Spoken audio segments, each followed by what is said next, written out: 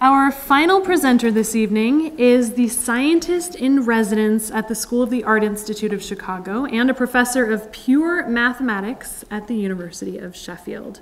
Profiled just last week in the New York Times, Dr. Eugenia Cheng adopts a literal approach to making math more appetizing. Her popular book is called How to Bake Pi, that's PI 3.14 pi, an edible exploration of the mathematics of mathematics and it received rave reviews and it's earning her fame as a math popularizer. Further cementing her art and science connections, Dr. Cheng also is a classical concert pianist. Please welcome Dr. Eugenia Cheng. When I say I'm a mathematician, people say all sorts of funny things to me. Sometimes they say, wow, you must be really clever. I like that. I like to think I'm really clever. They used to say, oh, I can't do math. But now they're more likely to say, I wish I understood math better.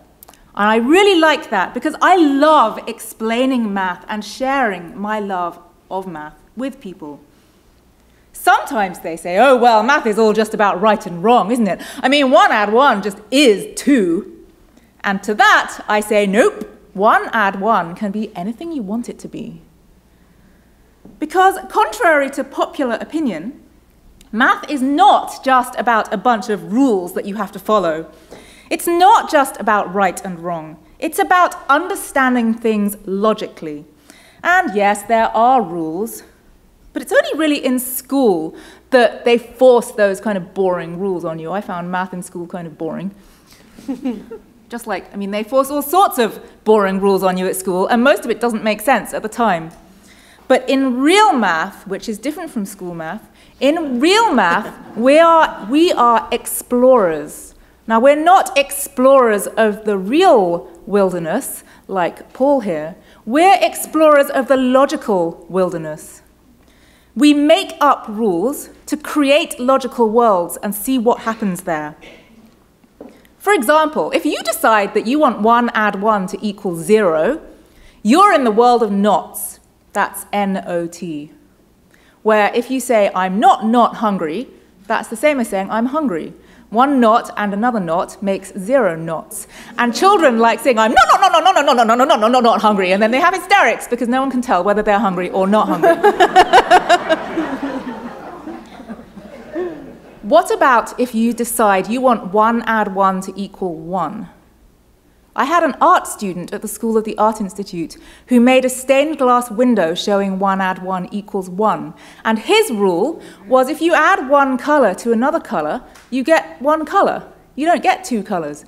And so he made a stained glass window showing those color combinations in the glass. And it was beautiful, both physically and intellectually. So, what if 1 add 1 equals 3? Well, in that case, everything will equal zero. You'll end up in the zero world, which is like my world of candy when I was little and I was allergic to all of it. Aww. The zero world is not very interesting, but it's very important, a bit like some people who are not very interesting but very important. Math especially pure math, is about making up your own rules, which is much more fun than following anyone else's rules. It means that math is about freedom, it's about dreaming. One of my art students told me last year she never thought she could have so much freedom while doing math, and that actually that was rather terrifying, because freedom was something she associated with art, not math. And as Miguel said, well, art, contemporary art, is about you, and actually math isn't so different. Math is about you. Math is about understanding how we think. It's not just about solving problems.